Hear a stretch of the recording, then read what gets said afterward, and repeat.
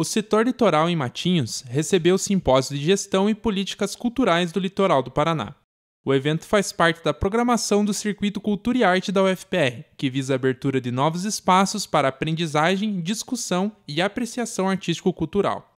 Para o pró-reitor de Extensão em Cultura, Leandro Gosdorf, o simpósio realizado no litoral é importante para estabelecer um diálogo com a comunidade local e fazer um reconhecimento das políticas voltadas para a cultura nas cidades litorâneas. O papel que a federal tem tido aqui no litoral, em Matinhos, Paranaguá, em todos os municípios, de aproximação a partir dos projetos de extensão com a cultura, propicia um diagnóstico, propicia um empoderamento da sociedade civil para pensar políticas culturais. A professora e coordenadora Carla Ruschmann, do setor litoral, fez parte da discussão sobre as políticas culturais.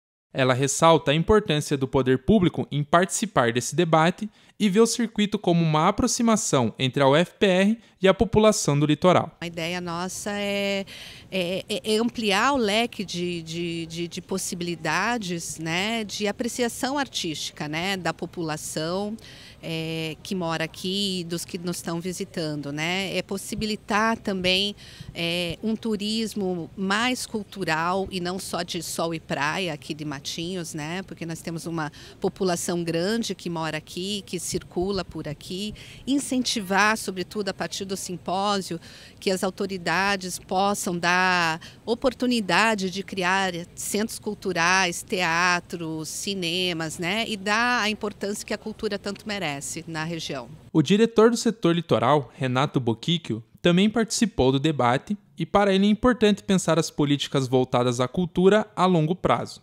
Renato vê o circuito como oportunidade de chamar a atenção das autoridades para a cultura do litoral e defende a capacidade da universidade de proporcionar o diálogo com a população local, visando a melhoria dos processos. Força muito grande de atuação de docentes, técnicos e estudantes aqui do setor litoral, é, por abraçar a ideia e entender que esse circuito ele traz elementos fundamentais de diálogo com a comunidade do litoral, né? é, há uma, uma, simbologia, eu acho que muito importante, dessa aproximação é, é, é, com a comunidade do litoral, que é próprio daquilo que traz o setor litoral aqui para, para a região. Né? O circuito também contou com palestras voltadas para pesquisa em cultura e a exposição artística Deuses que Dançam.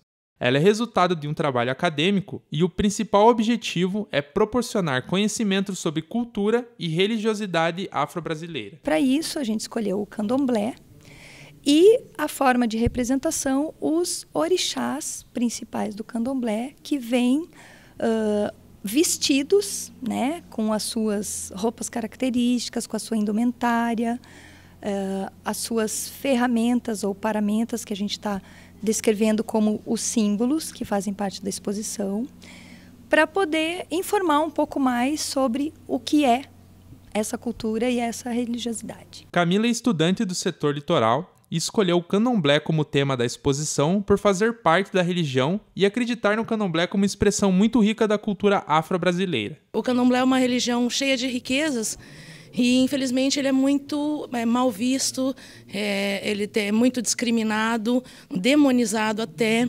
Então a intenção era trazer a beleza e, e toda a riqueza cultural do candomblé para que acabasse com um pouco, né, tentar diminuir um pouco de, dessa problemática que a gente encontra em cima da religiosidade e agregando arte e cultura.